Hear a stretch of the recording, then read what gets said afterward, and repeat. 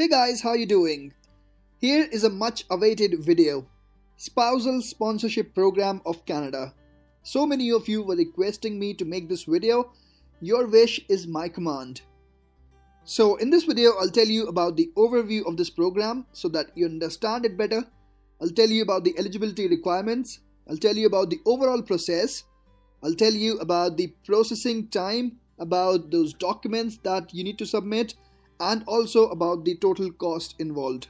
This is a long and a bit confusing process, so however, I'll share many details with you today in this video, but it would not be possible to give every tiny bit of information in just one video. So I am starting this new video series about spousal sponsorship program.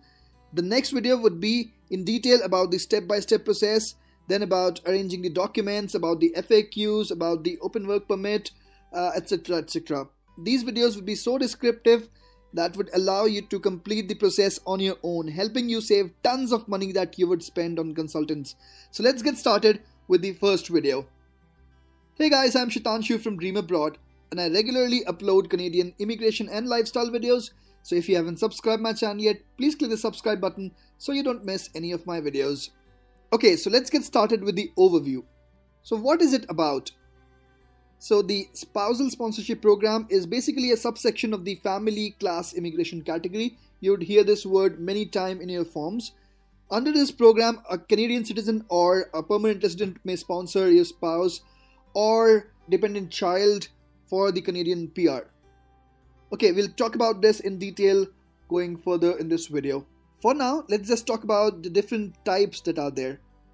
So basically there are two types only. The first one is the inland spousal sponsorship and the second one is the outland. Inland sponsorship is when the couple is together in Canada and the foreign spouse or the common law partner has temporary status in Canada, either as a worker, maybe a student or a visitor.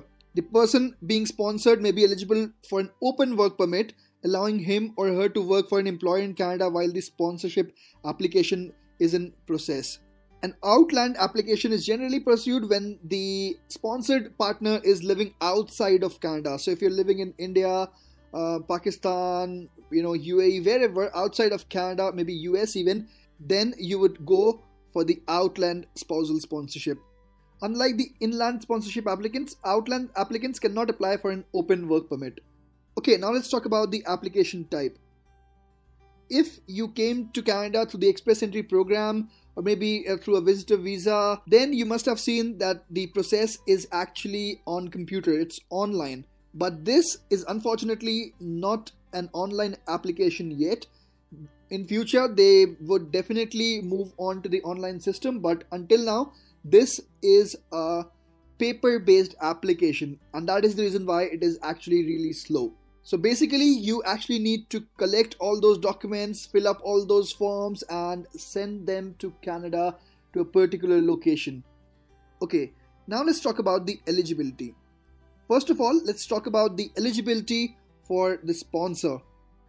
So to be a sponsor, you must at least be 18 years old. You must be a Canadian citizen or a permanent resident of Canada. However, if you're Canadian citizen living outside of Canada, you must show that you plan to live in Canada when the persons you want to sponsor become the permanent residents. Also, you can't sponsor someone if you're a permanent resident living outside of Canada. So, if you think that you will apply for the Canadian PR alone without your spouse, you will do the soft landing, go back, apply for your spouse, and then come back to Canada with your spouse. That won't be possible because if you become a permanent resident, then you should be living in Canada. Then only you can apply the PR of your spouse. Okay, the next point. You're able to prove that you are not receiving social assistance for reasons other than disability. And also, the last point is very important. You can provide for the basic needs of any persons you want to sponsor. Now, you must have seen that the eligibility does not say that you should have a job. But yes, your case would be even stronger if you have a job in Canada when you land you get a job for yourself. Maybe you get the offer letter you join and then you can apply. Maybe you get a couple of salary slips you attach them in the documents. That would strengthen your case a lot. We'll talk about the documents going further. Okay now let's talk about who can be sponsored. So first of all As the name suggests, your spouse, they can be of either sex. Canada does allow same sex marriages as well. If you're a spouse, you can be legally married to you at least 18 years of age. Uh, so that is all the basic criteria. Even if you're not married, you can apply for the PR for your common law partner and your conjugal partner. What is the definition of uh, common law partner and conjugal partner? I won't get into too much detail. You can find the definition online on the official website of Government of Canada. You can also apply for the PR of your dependent children. Children qualifies as dependents if they meet the basic requirements that they're under 22 years of age and they're not married. Children 22 years or older can be eligible if they meet certain requirements, but I know that most of my viewers won't be of that age group who would have uh, children more than 22 years of age, so I won't get into that detail. Okay, now the processing times.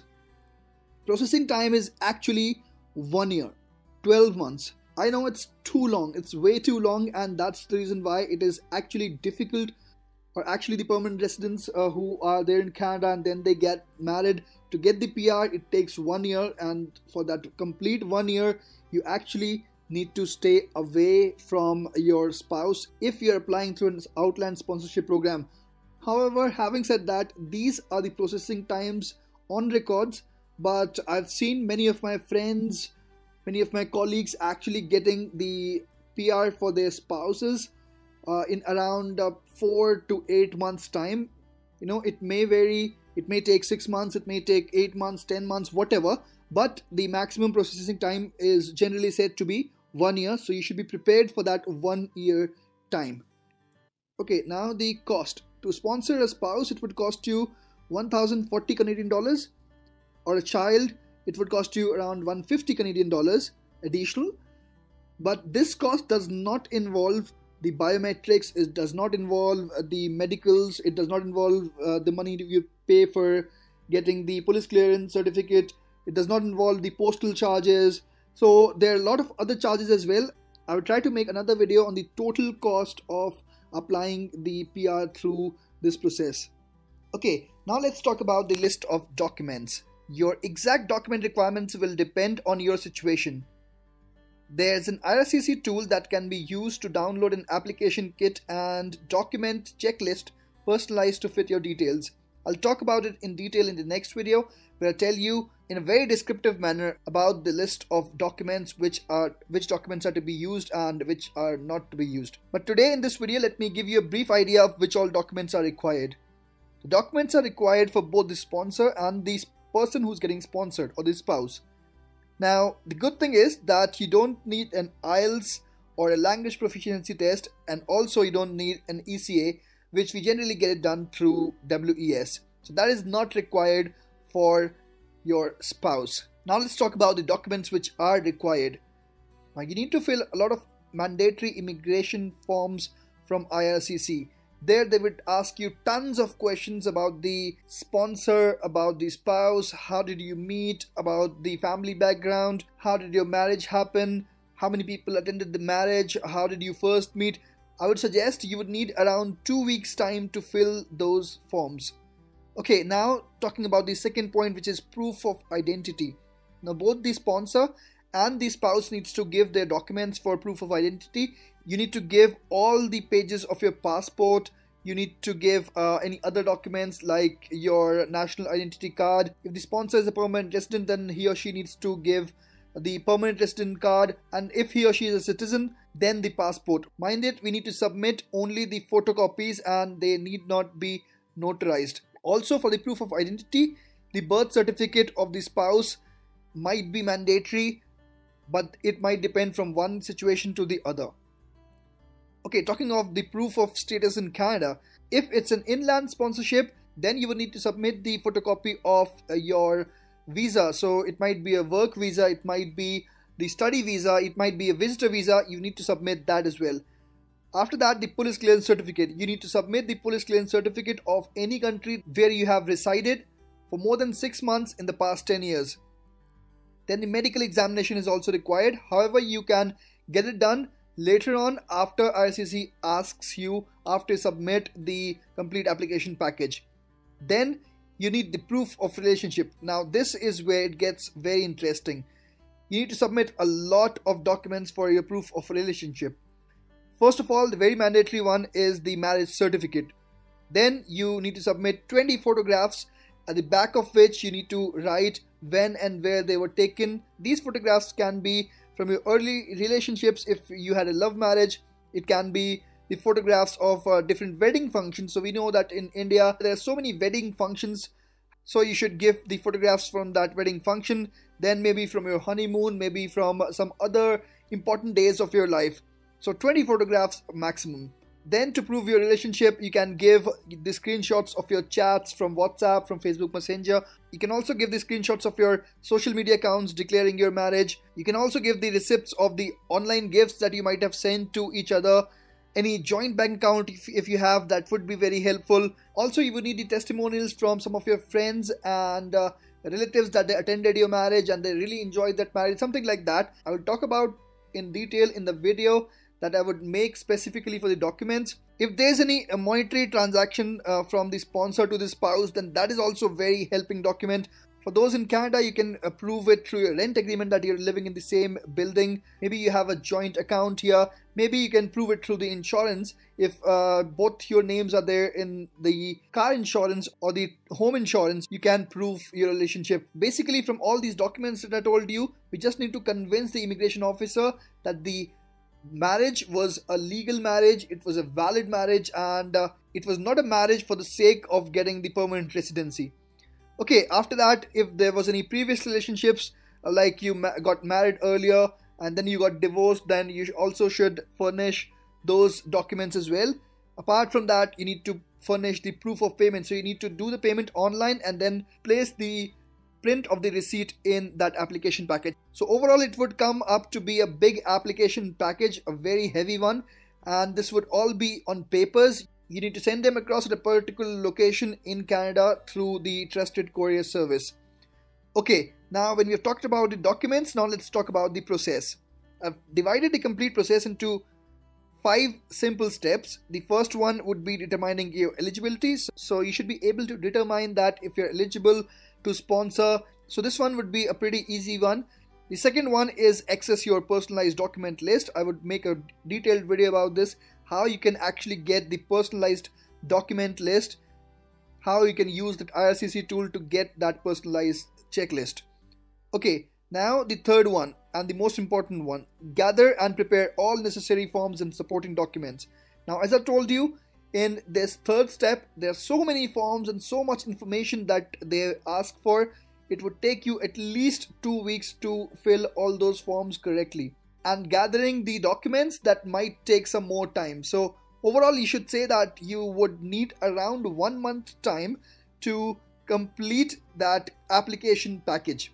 Now the fourth one is very important again double checking everything because it is very important that you don't leave even a single signature, you don't leave a single document, you don't leave a single form. If you leave a form, maybe if you leave a single signature over there, they will return the application package back to you. It comes back to you, you do the necessary changes and you send it back. Straight away, one to two months are lost. So definitely you don't want to do that.